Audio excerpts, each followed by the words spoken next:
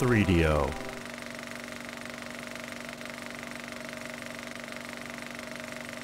This is Bravo Leader 1. Do you copy? Nuts! The portal should be just across that field. You ready? How about you, man? Let's turn on the bruise machine. Mm.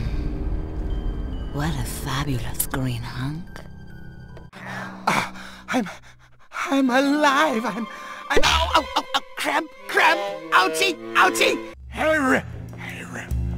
Where you think everybody is or whatever? Man, you got me. Let's just keep our eyes peeled, you know what I'm saying? Keep our eyes peeled! Huh? Come on, we still have to stop those rockets that got through the portal. You gotta stop those rockets on your own.